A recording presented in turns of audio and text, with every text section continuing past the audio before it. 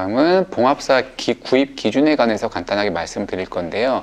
어, 인터넷 홈페이지 다른 뭐 재료 회사에서 포온 사진인데 이런 내용을 말씀드릴 건 아니고 봉합사가 굉장히 다양하게 있다는 걸 보여드리기 위해서 이제 포온 거고요. 제가 주로 저희 진료실에 구비되어 있는 봉합사는 4, 오늘 바- 방금 보여드렸던 4, 5, 6, 7 이런 봉합사를 사용하고 있습니다. 이렇게 보여드린 이유는 저희가 어, 연조직 강의 다른 강의를 하고 나면은 나중에 개인적으로 연락이 많이 와요. 6랑 7이랑 봉합사가 되게 많은데 되게 많은데 뭐 쓰면 되냐고 여쭤보셔가지고 음, 음, 오늘 특별히 준비를 해왔고요. 음. 보시게 되면은 이런 부분을 이런 부분에서 수치를 정확하게 보실 필요가 있는데 제일 위에 W로 시작하는 게 이제 제품명이기 때문에 이런 상세 스펙을 기억하셨다가 주문을 하셔도 되고요. 이게 종류가 여러 가지 많, 많은데 그 중에서 제일 아래 동그라미 쳐 있는 부분은 수처 매트리얼의 길이입니다. 그래서 네. 대부분 45cm 정도 사용하시면 되고 더 긴 봉합사가 있는지 모르겠는데 더 짧은 건 있어요. 더 음. 짧은 거 사시면은 그렇다고 값이 싼 건 아니기 때문에 아. 손해입니다. 네, 그러네요. 그리고 제일 중요한 거, 특히 6나 7 쓰실 경우에는 저 가운데에 있는 수치를 유- 어, 주의 깊게 보셔야 되는데 16mm라고 적혀 있는데 이게 우리 저희가 시중에서 구매할 수 있는 6제로 봉합사 중에서 제일 긴 길이의 니들 사이즈입니다. 그래서 6제로임에도 불구하고 16mm보다 더 짧은 니들이 있어요. 이런 거는 구입해서 써보시게 되면은 말은 6지만 7제로의 난이도를 겪어보시, 겪어보실 수가 있기 때문에 별로 권해드리지 않아요. 그래서 구입할 수 있는 마이크로 봉합사 중에서 제일 긴 니들의 길이를 구입하셔서 쓰시는 게 편합니다. 네. 저기 16mm 8분의 3 cutting needle이라는 얘기인가요? 8분의 3 circle입니다. 그래서 아, 네. 원 전체를 8로 봤을 때 네, 그 중에 8분의 3. 원주 3 네. 정도를 차지하고 있다고. 그것도 바로 말씀드릴 건데요. 저게 근데 저 네. 중에 round도 있나요 혹시? cutting roun- needle 말고. 라운드 다 삼각형 cutting인 것 같습니다. 네. round는 없고. 그래서 6 zero만 해도 이거 말고도 훨씬 더 많은데 한 여섯 가지만 갖고 왔는데 종류가 굉장히 많은데 위에 거 보시면은 제가 수치가 잘 안 보이는데 그 needle의 사이즈가 짧은 게 있어가지고 이런 건 실제로 까보면은 seven zero의 난- 난이도기 때문에 조금 어렵고요. 그리고 왼쪽 아래 두 개를 보시면은 needle의 needle, needle의 길이는 똑같은데 그 circle이 2분의 1 서클, 8분의 3 circle이 있는데 어, 저는 일반적으로 8분의 3 circle을 쓰고 있는데 2분의 1 circle도 충분히 쓰실 수가 있는데 2분의 1 서, 서, circle은 이 길이가 더 짧아지기 때문에 음. 조직을 한 번에 뜨기에는 같은 needle의 길이지만 조금 더 손해를 볼 수가 있기 음. 때문에 음. 8분의 3이 조금 더 낫지 않을까 싶습니다. 아 나도 2분의 1 한번 써봤는데 머리 지나더라고요. 그렇죠, 네. 그렇죠. 이런 부분은.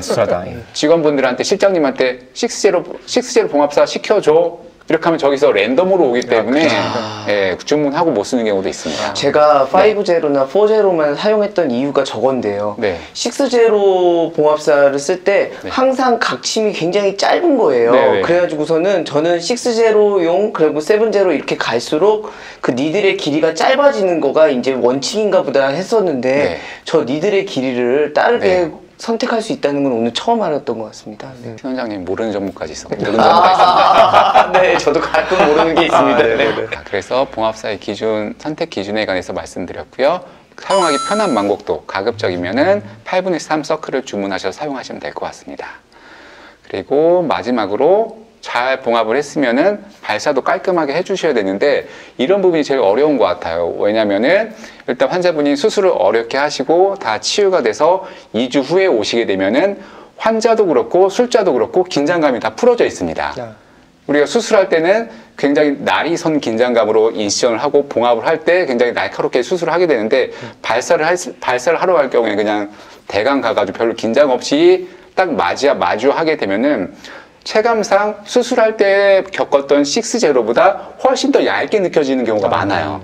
긴장을 좀 하셔야 되고요. 그리고 그리고 저렇게 치유가 너무 좋아서 저렇게 봉합사가 묻혔을 경우에는 익숙하지 않으신 분들은 굉장히 어려움을 어려움에 처하는 경우가 있어서 저희 수련인 중에 하나도 식스제를 물론 쓸 수는 있는데 초반엔 저렇게 치유가 좋다 보니까 저런 거 봉합사를 제거를 못하고 30분 넘게 걸린 경우가 있어가지고 그리고 환자분도 당연히 발사할 때 별로 걱정 걱정을 안 하고 오셨는데 이런 거 봉합 발사를 할 때 30분이 넘게 걸린다든가 통증이 있다거나 그러면 이제 민감해지실 수밖에 없어서 조금 더 테크니컬하게 제거하실 필요가 있습니다. 음. 그래서 일단 봉- 어, 발사 타이밍에 관해서 말씀을 드릴 텐데요. 치주과에서 제일 유명, 굉장히 유명한 주켈리 교수님께서는 발사에 관해서 2주 후에 하라, 2주 후에 하라고 말씀을 해주셨고요. 아, 저는 저분 성함이 이주일 씨인 줄 알고 네, 깜짝 놀랐습니다. 저는 네. 누군지 몰랐다. 어, 주켈리 교수 모르세요? 책에서 봤는데 아, 네. 저분 무슨 로봇을 저 귀화시한 분이가 생각하고 있었어요. 아니, 아니, 이주일 씨는. 전 모르는 연예인인가 네. 있었는데 조켈리 교수님이었군요. 치근 피계술에 굉장히 유명하신 네. 두꺼운 책 아, 쓰신 분이신데 네. 발사, 발사는 이제 2주일이라고 말씀을 해 주셨습니다. 네, 네. 네. 미국에서 유명하신 분이시죠. 그래서 에드워드 P. 알렌 교수님 같은 경우에는 터널링을 이용한 루트 커버리지를 많이 하는데 이분은 심지어 석 달 정도 있다가 발사하는 걸 네. 당당하게 권해 주시더라고요. 이렇게 오래 기다릴 필요는 까지 있을까 의구심이 들긴 하지만 많이 바쁘신 분인 것 같습니다. 네. 어, 저보다 일단 훌륭하신 분이시기 네. 때문에 이렇게 석 달이라고 하면 다들 고개를 까딱까딱 하더라고요. 뭐 6제로 7제로 쓰시는 거죠? 보통 5제로 쓰시는 것 같아요. 아, 그러면 네. 너무 불편하실 것 같은데. 이분은 수술하는 걸 살펴보면은 네. 저렇게 저 사진 보시는 것처럼 tunneling을 하신 다음에 하나의 봉합사로 continuous 봉합을 하기 때문에 아. 식스로 했다가 중간에 끊어지기라도 하면은 아. 말 그대로 똥망이기 때문에 그렇게 네네. 얇은 봉합사를 쓰시는 것 같지는 않습니다. 교수님께서는 좀 제거하기 애매할 것 같고 네. 이걸 제거하면 환자가 아플 것 같다. 네. bleeding 될 것 같다. 네. 이럴 때 네. 마취를 하고 제거하기도 하세요? 그러진 않으세요? 어, 그러진 않습니다. 그러지 않으세요? 네네. 저는 사실 이제 하고 이제 abutment 즉시 loading 했을 때 네. 가끔 실이 뭔가 제거하기 애매한 위치에 있어서 네. 빼기 애매할 때는 네. 그냥 남겨두기도 하거든요. 아, 그냥 아, 그것도 방법이죠. 3개월까지도 된다고 하니까 좀 네. 많이 편해지는데 네네. 그때는 보통 한 3주, 4주 있다 오시면 네. 조금 풀려 있으니까 편하게 뺄 수 있으니까 아, 그래서 네네. 교수님께서 좀 strict하게 그냥 다 빼시는지 아니면은 조금 오늘 빼기 어렵다 싶으면은 조금 loose하게 시간 두고 빼시는지 보이는 건 strict하게 다 제거를 하는데요. 다 제거를 했다고 생각했는데 남는 경우는 더러 있더라고요. 아, 반전이 그렇죠. 있죠. 반전이 있죠. 네. 네, 맞습니다. 그래서 몇 번 놀란 경우가 있습니다. 음, 음. 그리고 마지막으로 논문은 어, 이것도 마찬가지로 치근 피개 수술에 관한 논문인데요. 이렇게 flap을 advanced 시켰을 때, 그러니까 우리가 임플란트를 하고 GBR 했을 때도 flap을 이제 advance 시켰을 경우인데 그런 경우에는 tension이 남아 있을 수 있기 때문에 열을 주는 열을 전에 발사하는 건 별로 권장하지 않는다고 얘기를 하고 있습니다. 그래서 봉합을 한 다음엔 뭐 사랑니 발치는 일주일 내에 발사를 하셔도 괜찮겠지만 GBR을 했을 경우에는 최소 열을 2주일 전후로 기다렸다 발사를 하는 게 어떨까? 이주일로 해야 되겠네요. 네네 외우기도 굉장히 쉽기 네, 때문에. 이주일입니다. 뭐 나일론이니까 염증 생길 일도 없잖아요. 아, 전혀 없 전혀 네, 없습니다. 네, 네. 오히려 치유가 좋아서 덮을 일이 있을망정 음, 염증이 생기지 생기는 것 같지는 않습니다. 교수님께서 SO 약속을 그럼 딱 일주일 때 잡으세요? 중간에 한번 체크를 하시는지 2주 후에 보통 잡고 그냥 있습니다. 수술하고 네, 2주에 네, 오세요? 네, 환자 너무 많아가지고. 아, 근데 그 사이 한번 좀 보면 네. 혹시 이분이 좀 이렇게 멍이라 들을 수도 있고 어, 좀 그러면 좀 달래줘야 되는데 멍들면 제가 마음이 아파가지고. 아 그냥 안 보시나 네, 뭐 눈물이 나요. 네. 볼수 제가 그런 거볼 수가 없어가지고 다 나오면 못 부르고 아, 그러고. 그러고 있습니다. 그러니까 저는 저도 이제 취재를 전공했지만 네. 추출을 급하게 하다 보면은 네. 한두 개씩 네. 약간 일주일 열흘째 네. 느슨해진 실이 있잖아요. 아, 네. 그래서 그때쯤 한번 오시게 해서 네. 부분적으로 느슨한 것만 제거하고 아, 네. 2주째 나머지 제거하는데 네. 한 번에 제거를 2주째 하시는지가 궁금했어요. 아, 한 번에 2주에 무조건 하고 있습니다. 아, 환자가 너무 많아가지고. 할 말이 없습니다. 예, 예. 아, 마지막으로 발사 영상을 준비했는데요. 아까 그 환자는 아니고 비슷한 임플란트 환자인데 통상적으로 6제로만 이용해서 봉합을 했던 경우입니다. 2주 후에 발사하는 영상이고요. 통상적으로는 두 손이 다 자유로우면 한쪽 끝을 잡고 보이는 봉합사를 저렇게 시저로 컷해서 발사를 하시면 되죠. 항상 저렇게 옵출하게 쓰시는 건 아니시죠? 네네네. 네. 동영상 촬영을 위해서 아. 박정철 교수님의 제품을 빌려서 사용하고 있습니다. 아, 네. 사비로 사셨던 제- 제품이기 때문에. 아, 네네. 네. 저 때는 핀셋도 좀 네. 잘 들어야 되는 것 같아요. 그렇죠. 핀셋이 후지니까 네. 안 잡혀가지고 네. 아 근데 형 이런 게 있습니다. 그 치주과 핀셋은 좋아요. 아, 이게 우리가 엔도도 하고 하니까 핀셋 망가지는 거지. 아. 치주과 핀셋 좋습니다. 아, 네. 따로 구분해서 그럼 사용하고 다른 일을 안 하니까요. 얘는 어. 얘만 빼니까 어. 얘가 되게 곱게 자라가지고 핀셋이 좋아요.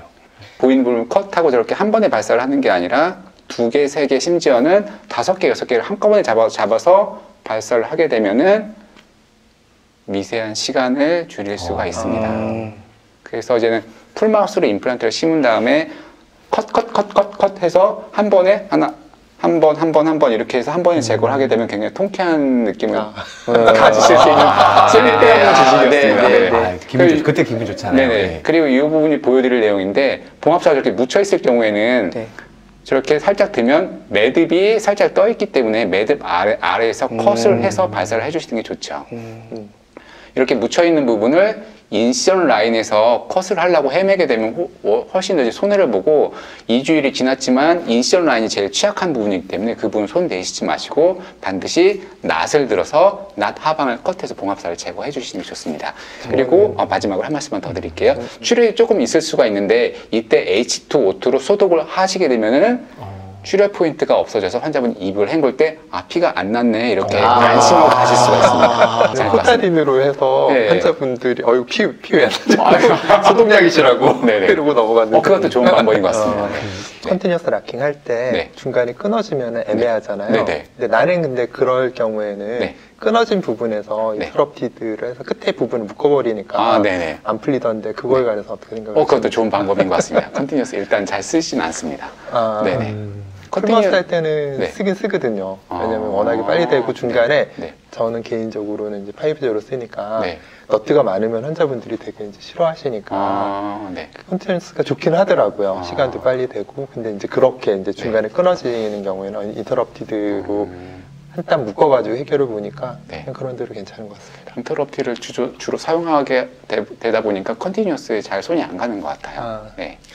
그리고 그 scissor 오늘 보면서 기부가 전부 다 좋은 것 같은데 네. 리솔더도 깨끗하고 좋은 것 같은데 네. 혹시 시저를 수련이 샤프닝 한다거나 그런 어, 전혀 그러지 않, 랜덤이고요. 네. 운이 좋았습니다. 저는 진짜 오랜만에 봐서 예. 어, 그리고- 아, 진짜 잘 잘리네. 네, 아. 그리고 핀셋도 이제 불량품이 굉장히 많아가지고 네. 말씀드린 대로 불량품일 경우에는 네. 발사를 이렇게 안 하고 이렇게 발사를 합니다. 아, 아. 눈이 좋아야 될 것 같아요. 네, 눈 뭐, 안경 쓰시면 될 것 같아요. 이상이었습니다. 도움이 좀 되셨나 모르겠네요. 아, 네. 일단 오늘 강의 너무 좋았고요. 다음 편에 우리 치주기구 회춘에 관해서 또 좋은 내용 기대해 보도록 하겠습니다. 될까요? 숨을 조금씩 이상하잖아요. 왜 여기